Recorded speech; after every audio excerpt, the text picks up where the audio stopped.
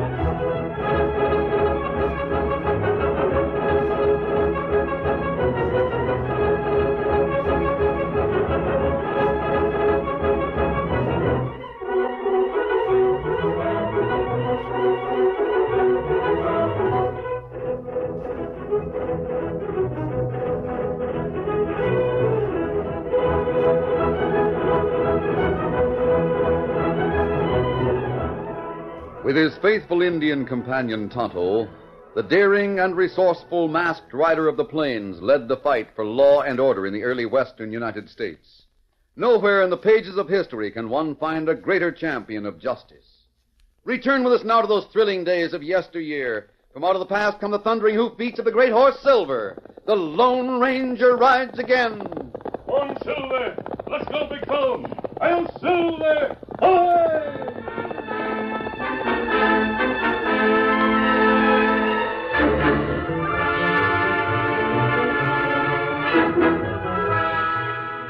The small boom town of Brockton was the gathering place for the miners who had swarmed to that point in the far west when news of a gold strike had spread like wildfire only a few months before.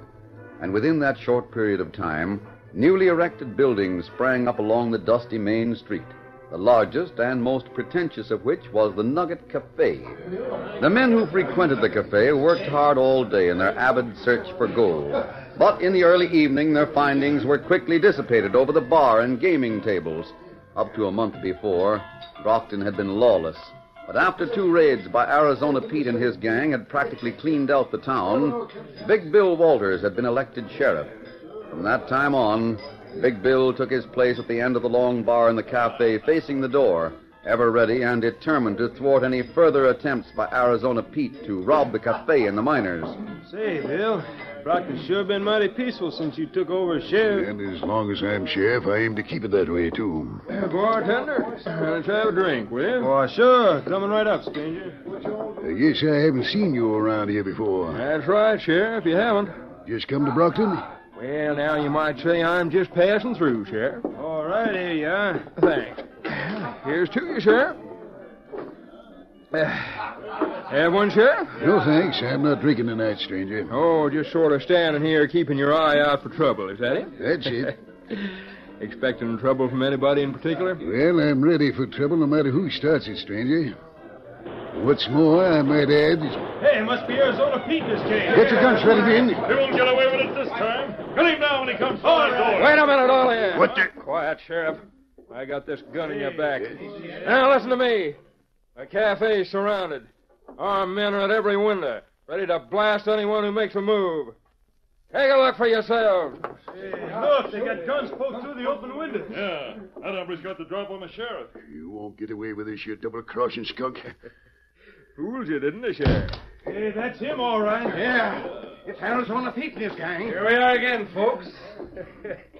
Guess we sort of took you all by surprise, didn't we, huh? walk right in here. Sure is a shame to make a fool of your sheriff like this, especially with him just laying in wait for us to show up. All right, boys. A couple of you get gold from the safe back there. The rest of you go around and see what all these galoots have to contribute. We ought to get a good haul. Come on. Yes, I ain't standing by to see that thieving hombre and his coyotes clean everybody out. Just what are you going to do about it, Sheriff? It's this. Oh, Hey, you got the sheriff! Rush him, man! Let him have it, boys!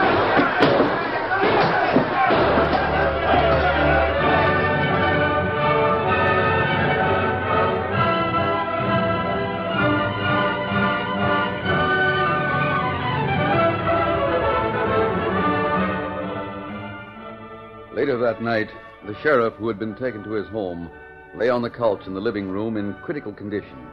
His wife and young daughter Jane stood nearby as the doctor turned from the wounded man. How how bad is it, Doctor? Molly, it's no use lying to you. Bill's in a bad way. Poor Bill. Don't cry, Ma. Molly. Molly.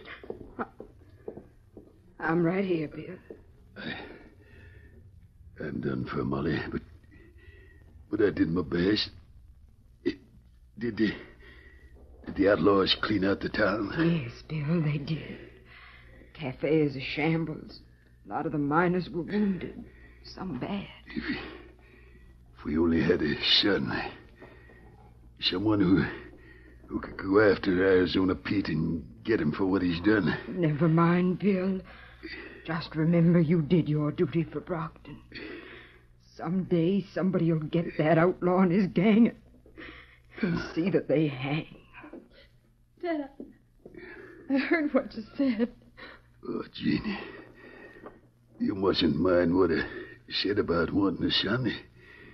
It's only that Dad, you, you don't need a son. I'll see that Arizona Pete hangs for what he's done. Jane, what are you saying? You, a mere slip of a girl, barely 18. just forget about it, Jane. You co- Take it easy, Bill. Jane, you you mustn't try it. Molly, Molly, I. Molly, he's gone. Oh, Bill. Bill. Dad,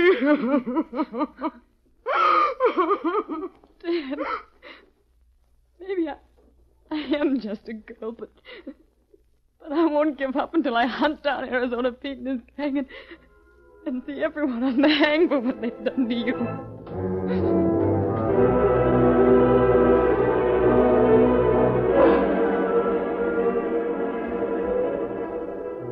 Meanwhile, in the general store, the townsmen were having a meeting to discuss the raid. A husky young miner named Jim Mercer had taken the floor. Quiet. Quiet, everybody. You all know what a beating we took from Arizona Pete and his gang tonight. Cafe's wrecked, and a lot of our men were hurt bad, including the sheriff, Big Bill Walters. Besides that, the outlaws got away with all our money again, just like they did twice before. Yeah, that's right. Looks like them outlaws got us buffaloed. Not much use staying around Brockton. Wait a minute, I ain't finished. Seems to me if the sheriff had been on his toes, Arizona Pete and his gang couldn't have taken us all by surprise like they did. What do you mean?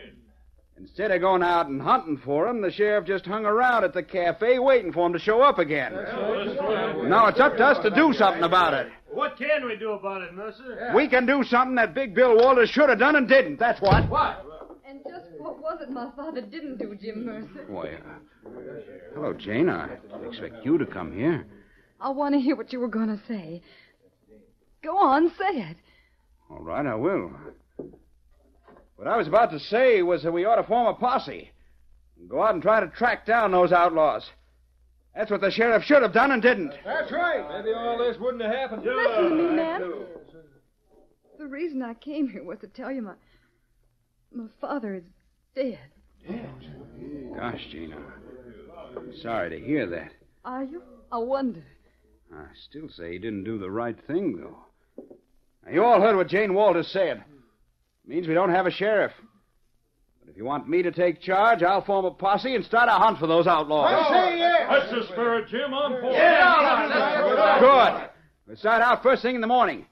I'll lead the posse and we'll search the hills for the outlaw hideout. And I'm going with the posse. You? Don't be crazy, Jane. Young girls like you have no place riding with a posse. You'd just be in the way.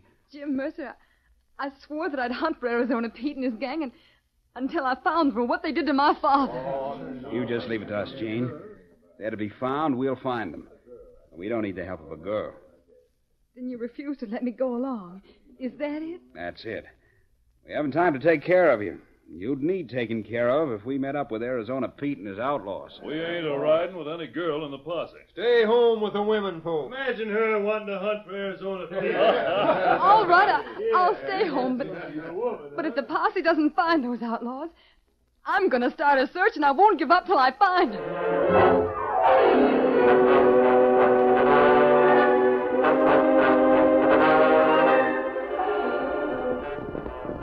It was two weeks later. The Lone Ranger and Tonto were riding the trail about ten miles to the west of Brockton. As they followed the winding trail through the hills, they were suddenly startled by a shot. Oh, Scout, oh, fella. Oh, fella. That was close, Tonto. Look here. Ah, bullet put hole through hat brim. Yes. Shot seemed to come from up there to the left. From among those rocks on the side of that hill. Maybe them try again, Kemosabe. Well, I'm ready. Look, sun gleam on gun barrel. Yes, I see it. Maybe I can. Sound like girls scream up there. Yes, come on, somebody go up. Get 'em on, Scout. I'm out from behind those rocks. Look, Kemosabe. Someone come out. Look like young boy. Oh, Silver. Oh, Oh, oh, Scout, oh, fella. Oh, fella. You shot the gun from my hand, but, but I'm not afraid of Steady, you. big fella. Why? Easy, Scout, easy, fella. Why, you're a girl. Yes, I'm a girl. Why did you shoot at us? You have nerve to ask me that. Anyone can see you're an outlaw with that mask on, and and I'm sure you're one of Arizona Pete's gang. Well, that's where you're wrong. I'm not an outlaw, nor am I connected with Arizona Pete. In fact, I never heard of him. You're lying, and I know it. Everybody around here knows of Arizona Pete. He's raided Brockton often enough for you to know. We were heading for Brockton when you shot at us. We've come from farther west. Tell me, what are you, a young girl, doing out here in the hills alone? If, as you say, there's a gang of outlaws around. Arizona Pete and his gang pulled a surprise raid on Brockton, in spite of the fact that the sheriff had planned to trap them. When he was killed, I, I swore to track them down myself. Well, girl, no match for gang of outlaws. That's right, Tonto. Those outlaws that have disarmed her as quickly as we did. Well, I- You'd better leave the outlaws to the men of Brockton. I'm sure they've formed a posse to hunt them. They did at the time. That was two weeks ago, but they've given up the hunt. I'm going to keep on until I find Arizona Pete. Anyway, everybody in town laughed at me when I said I was going to round up the outlaws. If I go back and give up, they, they'll laugh all the harder. I'm sure they all know a girl like you couldn't cope with a band of outlaws. Why are you so determined to track them down alone? Because they killed my father. He was sheriff of Brockton. Oh, I see. And you must be Miss Walters. That's right. I'm Jane Walters, but I'm very sorry about your father, Jane. Maybe we can help you in your hunt for Arizona Pete's gang. you? Why should you want to help? How do I know that you're not one of them? I told you we were on the way to Brockton when you shot at us. I have a message I was bringing to Sheriff Walters from the United States Marshal at Silver City. A message to my father? Yes. Here's a note I was to give him. You see, your father appealed to the marshal for help in catching a gang of outlaws who had repeatedly raided Brockton. It must have been Arizona Pete and his men. Yes, it was. Uh, may I see that note? Yes, of course. The U.S. Marshal says for Dad to trust you and, and that you'd help him. That's right. That was our purpose in coming here. Then I can trust you. Will you really help me track down the outlaws? Of course, Jane.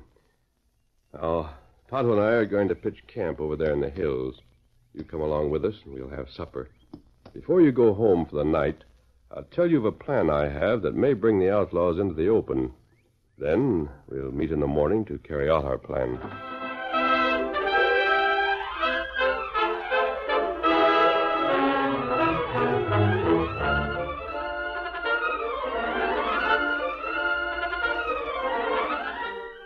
The curtain falls on the first act of our Lone Ranger story. Before the next exciting scenes, please permit us to pause for just a few moments.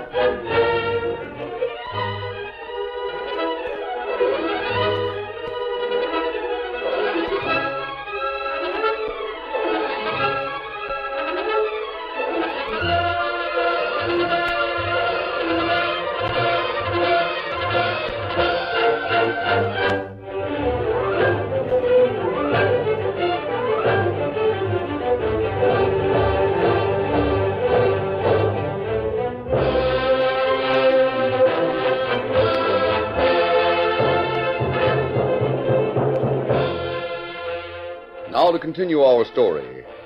After having supper in the newly made camp, the Lone Ranger discussed the plan he had in mind.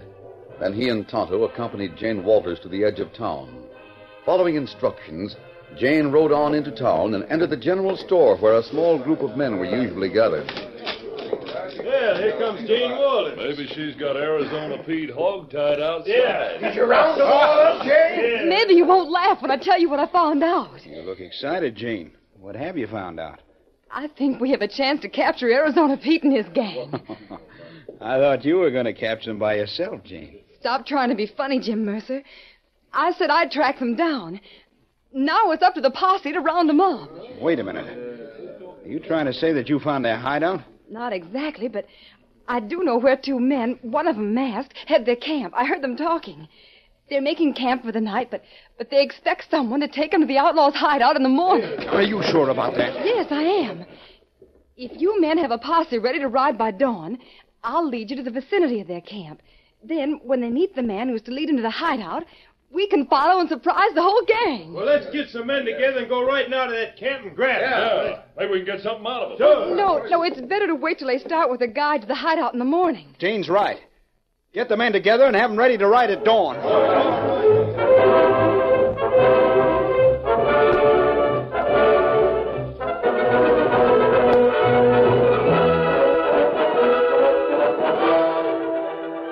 Meantime, the Lone Ranger and Tonto waited in a clump of cottonwoods on the edge of town. A short time after Jane had gone into Brockton with her story, Tonto spoke to the masked man in a low tone. Kemosabe, Yes. me hear horse. Come plenty fast. I don't hear anything, Tonto. I think you. Yes, I hear it now. Quiet, Silver. Quiet, boy. Rider not see us in dark. That must be the one who was doing the spying in town for Arizona Pete. Ah, you think he'll go to our outlaw hideout? Yes, we'll follow him. Then you can go back with a message to Jane Walters. Uh, Come on, Silver. Get him up, Scout.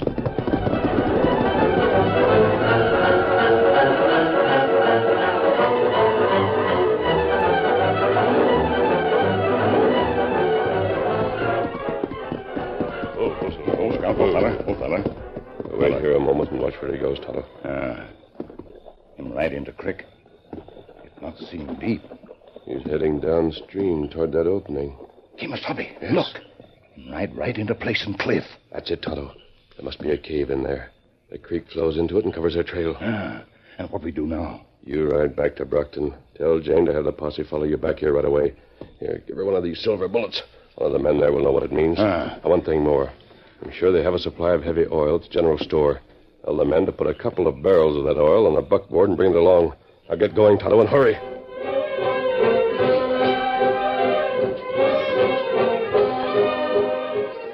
Meantime, the man whom the Lone Ranger and Tonto had trailed from town had entered a rather large cavern which served as the hideout for Arizona Pete and his outlaws. A few minutes later, the outlaw leader and the man were in earnest conversation. So the sheriff's daughter is going to lead a posse to the camp where those two hombres are, hmm? That's right, Pete. I thought I ought to warn you. The posse's going to wait till the two men you're expecting start out for here with the guide you send. Posse will trail him here. Yeah. I suppose that's the idea. Only Only what? I wasn't expecting any two hombres, and I ain't sending any guide to bring 'em here. What? Not expecting anyone. But Jane Walters. I said don't care what she said. It ain't so. Mercer, maybe you ain't as smart as I thought you were. Maybe that girl's pulling some sort of a trick on you. Trick? No, she can't be, Pete. She trusts me just like the others do. She doesn't suspect anything. That's what you think. That's what I know, Pete. Jane Walters is silly in the first place. She wouldn't set out to hunt down a bunch of outlaws single handed. No woman would, much less a young girl. But you must admit, Jim, that's just what she did, and she's persistent. As far as I can make out, that girl's run onto something. It's up to you to find out just what.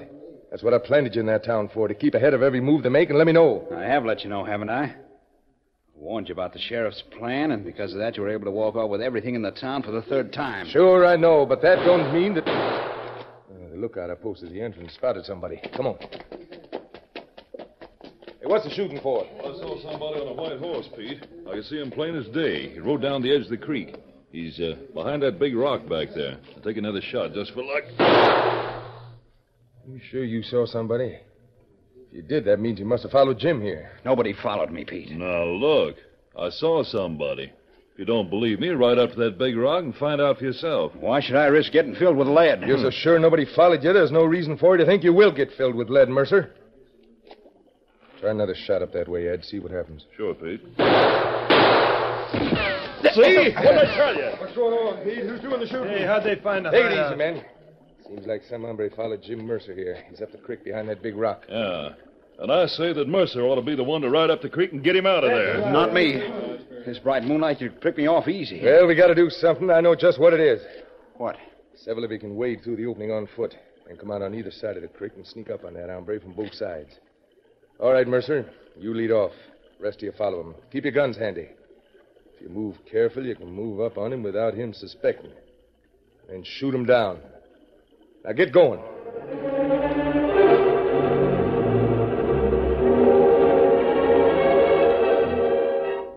After a hard and fast ride, Tonto reached Brockton and sought out Jane Walters, giving her the Lone Ranger's message along with the silver bullet.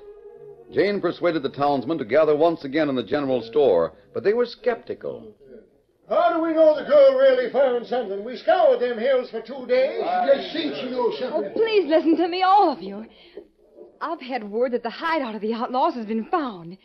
If you want to get Arizona Pete and his gang, a posse must ride tonight. Earlier this evening, you told us to form a posse and ride at dawn. Now you tell us you found out where they're hiding. You want us to ride tonight. Yeah. Who told you about the hideout being found? An Indian. He's waiting outside to lead you to the outlaws' place. And you must take along the heavy oil he asked for. Now, just a minute, man. Just a minute. Jane, I was there when your dad died. I heard you make your promise to track down Arizona Pete. All this talk about an Indian and all. Well, you can't blame the man for hesitating. What's more, I can't see any sense in carting barrels of oil along with the posse. Where's Jim Mercer? Let's hear what he has to say. I happen to know that a man rode out from Brockton tonight to warn the outlaws. It's a man who's been here in town as one of Arizona Pete's spies. Jim Mercer isn't anywhere in town, and I'm inclined to think he's the one who went to the outlaws' hideout tonight. Oh. Now, wait a minute, man. Quiet down. Jane, you just can't say things like that without proof. How do we know? In fact, how do you know that somebody went to warn the outlaws? Because he was followed by the Indian. And by another man. A, a man I trust. I, well, look here. Does this mean anything to anyone here? Well, it looks like a bullet. It's a silver bullet, seems like. It is a silver bullet. The man I spoke of sent it by the Indian. Uh, Just a minute. Let me see that, Jane. Here. I guess what you say is true after all. Man, this silver bullet changes everything. Take my word for it, you can trust the man who sent it to Jane. Please hurry. There's no time to lose. Get your horses, men, and I'll ride with you. Now get going. Put those oil barrels on the buckboard. We'll follow the Indians.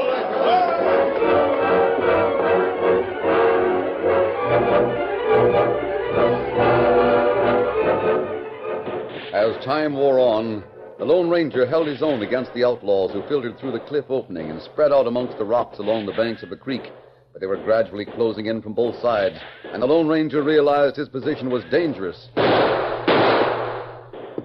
Hope I can hold out until the posse arrives. Easy, boy. Easy. Well, Silver, my last round of bullets. I don't. The posse. Oh, Kemosabe. Here, Tonto. You all right? Yes, I couldn't have held out much longer. Outlaws going back in cave. The girl, what's she doing here? Not able to make girls stay home. She follow posse. Oh. here you are. Well, we got here as soon as we could. They were hard to convince, but, but the doctor recognized the meaning of the silver bullet and persuaded them to come. Good. But you shouldn't have come here. Stay down behind this rock. The outlaws have all gone back into the cave. We'll have to find a way to get them out. Did you bring that oil? I sure did, but we can't figure out what you expect to do with it. This creek flows into that cave where the outlaws are holding out. Get the men to unload the oil here behind this big rock. Then we'll dump the oil into the creek and set it afire.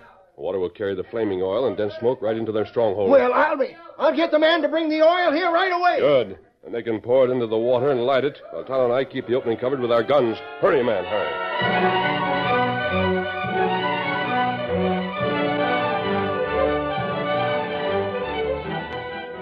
Working with feverish haste, the men lifted the two barrels of oil from the buckboard and carried it to the point where the Lone Ranger was waiting. Then, opening the barrels, they poured the heavy oil into the creek. As the thick black oil spread out over the water, the Lone Ranger twisted some of the tall, dry grass into a torch, lit it, and tossed it into the creek. In a few seconds, the oil burst into flame, and both flames and dense black smoke floated down the creek and into the cave opening. Man alive, look at that smoke! That'll bring him out. That masked man sure had a great idea. I hope there's no other opening into the cave. I feel certain there isn't. There were. They'd have used it before now. You think it'll work? We'll soon find out. There's a lot of smoke going into that cave. The smoke's taking effect. Listen. It's Jim Mercer. Just as I thought. He was the spy who was planted in Brockton for Arizona Pete. Hey, we gotta have air! We give up! Come out one by one with your hands up. Tonto, have somebody take their guns. Uh-huh. We get him. All right, men, round them up. I guess you can handle things from now on. Oh, but wait, you, have to see me back to town. I... You'll have plenty of company back to town without him, Jane. And what's more, they'll all be mighty proud to ride with you. Because of you keeping your promise, we've rounded up Arizona Pete and his whole gang. It, it wasn't I who did it, Doctor. It was that masked man. He was so wonderful, and and to think I don't even know who he is. Wouldn't do you any good if you did know, Jane. So don't go setting your heart on him. You see, when you showed me that silver bullet, I knew right away it came from the Lone Ranger. Oh, Doctor. Hi-yo Silver! The